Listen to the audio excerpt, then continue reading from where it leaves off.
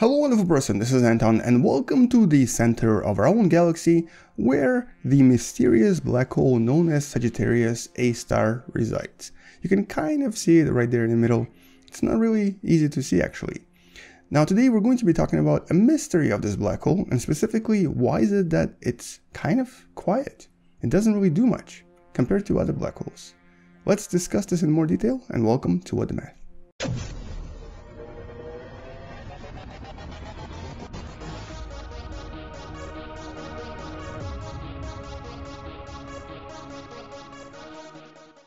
Now when it comes to other black holes and other galaxies, like for example the super famous M87, these are extremely active. So active and so bright as a matter of fact that we can easily see them from here, from Earth, at a distance of over 55 million light years. A lot of these galaxies are known as active galactic nuclei galaxies, also known as AGN. And in a lot of cases, something like this happens quite a lot. A star comes really, really close to the black hole and then kind of falls into it, creating a lot of energy and a huge burst that can be then seen from a really, really far away distance. At the same time, some galaxies don't really exhibit this behavior. Some uh, black holes in some other galaxies seem to be relatively quiet and are not as bright. As a matter of fact, most of the galaxies around us are just like that, including of course our neighbor Andromeda that's slowly moving closer and closer to us. But then other galaxies near us are active. The most famous one I think is this one, the exceptionally beautiful Centaurus A galaxy, a video about which you can discover above my head. And so this galaxy does have an active galactic nuclei and is producing, as you can see, very powerful jets. But not Sagittarius A star. Not our own black hole that seems to be very calm and very quiet in comparison. As a matter of fact, um, we haven't really seen any powerful jets emanating from it. We've also haven't really discovered anything in terms of um, any kind of super powerful emissions. And for the most part, even though there is stuff here, there's a lot of energy, there's a lot of um, actual radiation that's produced and is released and uh, can be detected, it's not comparable to some of those other active galactic nuclei. So um, it's a mystery and we don't really know why it's happening, but one of the uh, scientists and his team from NASA wanted to try to answer this question by using the really really cool telescope known as SOFIA that basically deserves its own video, but it's a telescope inside of this beautiful Boeing 747 uh, airplane that you can see right there that recently had a new device installed on it known as HAWC Plus. And that stands for the High Resolution Airborne Wideband um, Camera Plus, which can detect magnetic uh, field and magnetic radiation from really far away distances in space.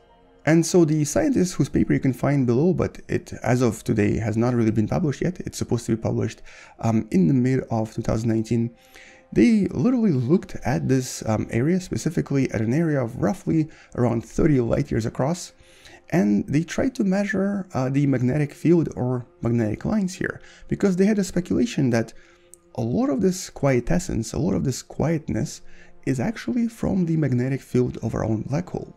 And by looking at this area with SOFIA telescope, they were able to create this absolutely marvelous image that you see right here. And this is one of the first images ever that clearly shows us the magnetic field lines and various interstellar matter interacting with those field lines around the central black hole. At the same time, this shows us a very large area of um, radius of about 30 light years. And what's interesting here is that it also shows us what happened in the last 100,000 years of existence of matter around this black hole. And incredibly, this image of course shows us that the matter around the black hole very actively interacts with the magnetic field produced by the black hole. And so this could be that solution to that mystery. This could be why the black hole is not really that active. And this is exactly what the scientists behind this paper propose.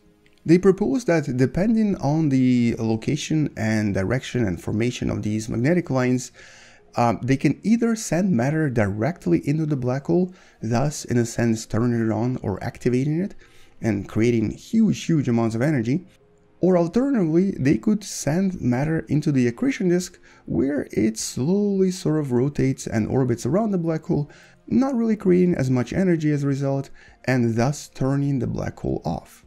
In other words, they're suggesting that these magnetic lines work as a kind of a on-off switch for black holes, at least to some extent, or at least to the extent where other forces may not be powerful enough to activate a black hole.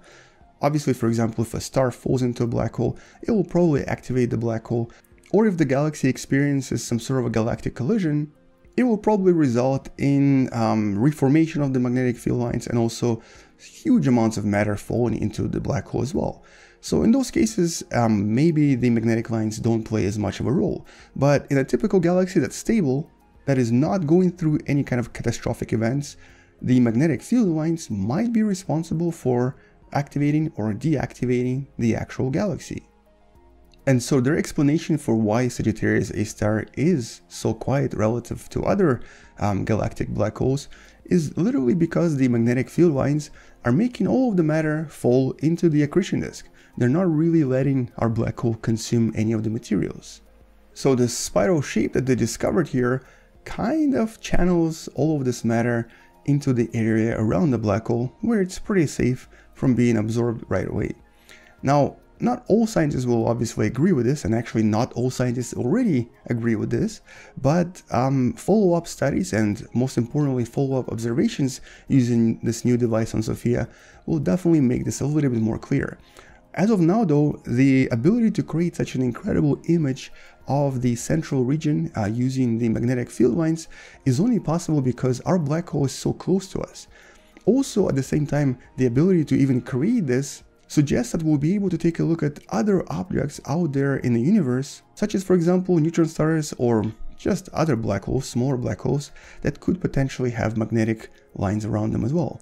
Specifically, I am more interested to see what all of this will look like around a typical uh, magnetar that normally have extremely powerful magnetic fields.